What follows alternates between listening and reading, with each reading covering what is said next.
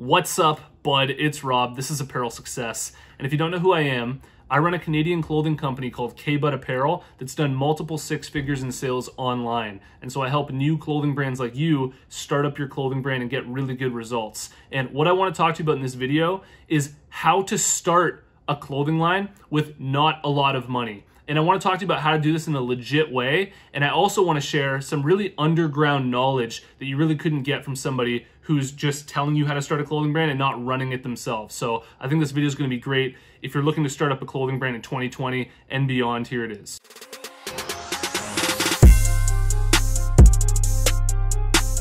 Apparel Success is sponsored by my buds over at Design Crowd. And if you need designs made for your clothing brand, I really recommend that you give them a shot for the designs of your clothing brand. You post a project on Design Crowd, amazing designers from all around the world will compete for your project. You choose the winner, then you get that design plus revisions. Here's an example of a design that I had made through Design Crowd for my own clothing brand that's selling like fire right now through my website. If you're interested, head over to designcrowd.com forward slash apparel to learn about the special offer that I have where you can save up to $100 or simply use the discount code apparel when you post a project on Design Crowd. So to start out this video, I want to answer a really big question that comes up a lot, which is can you start a successful clothing brand with a really low investment of say $50 or $100? And the answer to this question is definitely yes. And the reason for that is because if you come out with 10 t-shirts for say $50, you start your clothing brand with 50 bucks, when you sell those 10 t-shirts, you're gonna make enough profit to then come out with 20 t-shirts. When you sell those 20 t-shirts, you're gonna make enough profit on that to then come out with 40 t-shirts. And this cycle is infinite, and this is how you can grow up a clothing brand with a really low investment from the beginning and just keep building on it to eventually have a lot of inventory where you're selling a lot of clothing all the time. So now let's talk about what exactly the best way is to start up a clothing brand with a low budget. And what most people want to do in 2020 moving forward is they want to do this all through a website. And my recommendation here for how to build a website for your clothing brand is a little bit against the grain and probably not what most people would tell you, which is to use Shopify. And what I recommend using is Wix. And one of the reasons why I recommend using Wix is because you can get started working on your clothing brand's website right now for complete free. And I know people are going to say, well, you can do that with Shopify too. But there's no limit with Wix on how long you can be building your website before you actually have to join one of their premium plans. With Shopify, there's this trial period where you only have a certain amount of days to do it. With Wix, you can get started right now and just endlessly be working on your clothing brand's website until you feel completely confident and comfortable in your brand's website where you're ready to launch and you're like, okay, now I want to connect my domain and I want to be able to accept orders through my website and also through Wix, it's only like 10 bucks a month. And I've just found running my own clothing brand that the way that their website builder works is just a lot more fluid and a lot more free. There's a lot more room for creativity on there. I know that people who are using Shopify are going to hate me for saying this. And to be honest, I love Shopify too. I think it's an amazing company and I've tried it myself, but my preference is Wix. And so why would I recommend another company that I'm not using myself. I think that there's a complete misconception about Wix that you can't build a legitimate online business through them and that you have to do Shopify. But, you know, my clothing brand's website was designed by me, who's not even a website designer. I, I was basically just taking inspiration from the websites that I like for my clothing brand.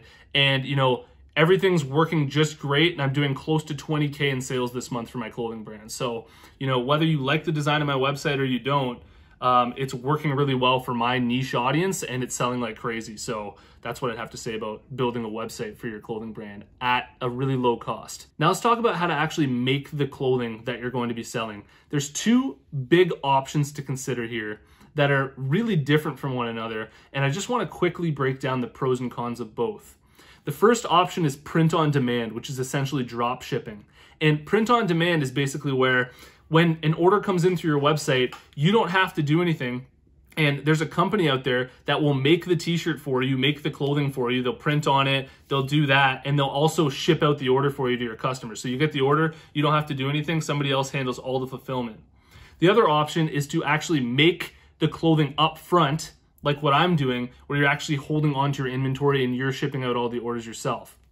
Now let's get into the pros and cons really quickly of both of these. With print on demand, there's much less upfront cost, so there's less risk involved. And when you're investing in inventory, you know, there's the risk of maybe you won't be able to sell this inventory, and you also need to be able to spot that money up front. Another thing about print on demand is just the convenience, right? If you go with print on demand, you don't have to be fulfilling any of the orders yourself. Somebody else is going to handle all that for you.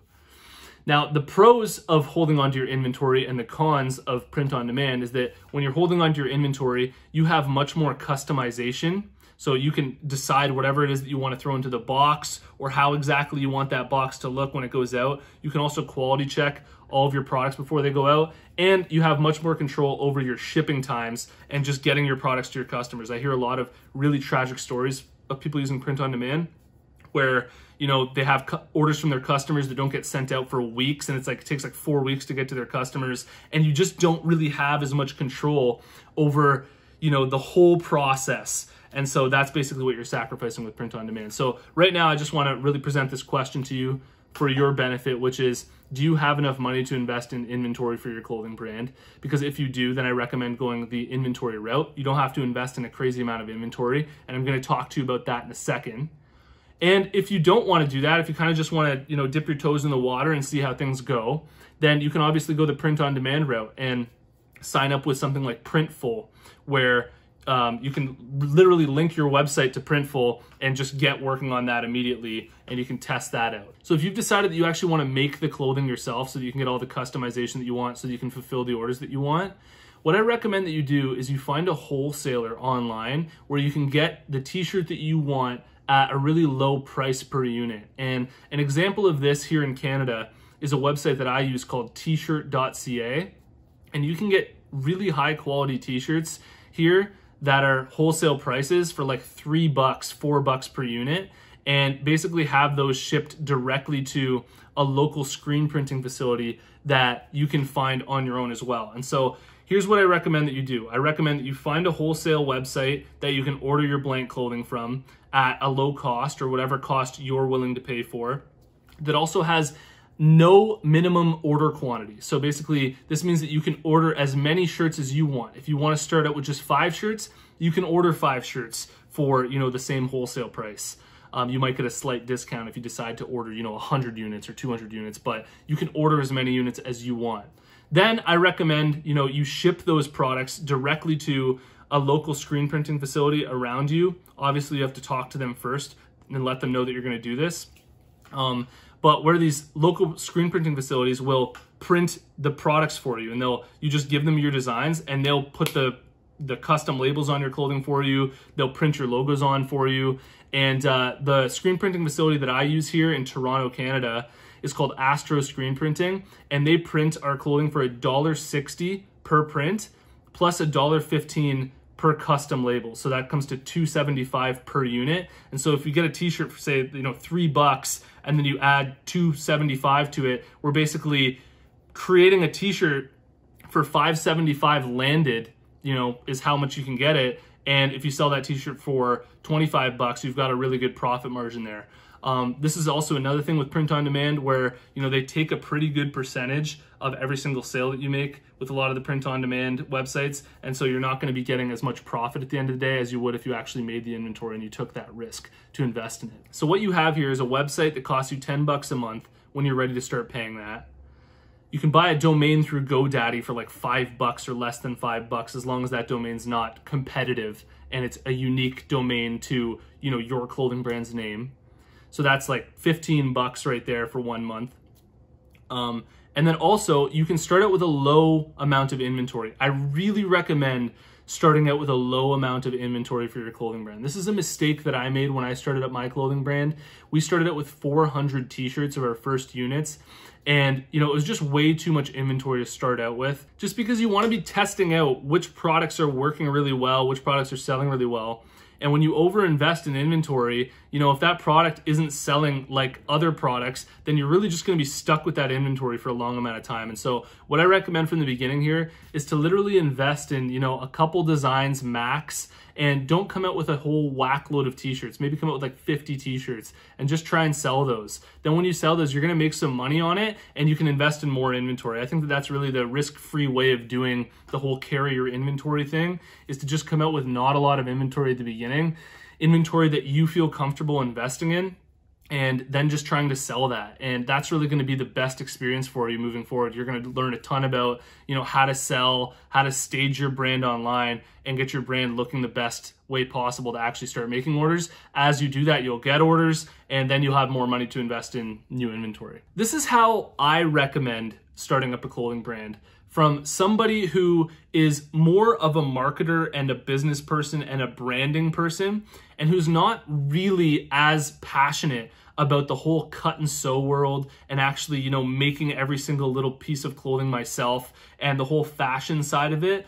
I'm much more interested in the branding side, things like marketing on social media, and the business building side. so, if you're like that as well, then this is really the method that I recommend you going where you can sort of bypass that whole section where you need to learn how to, you know, run these machines yourself and you can get somebody else to to make your products for you. And while they're doing that, you know, you can focus on the social media, on your website, on the branding, on the story of your brand, on your brand concept and things like that. So there are obviously different options out here if you're interested in buying machines and things like that. But this is for those of you who really just wanted to start up a legit clothing brand, you know, with as low money as possible, and so that you can get started. I really hope that that helps. If you got a lot of value out of this video, hit the like button for me, drop a comment, let me know what you think.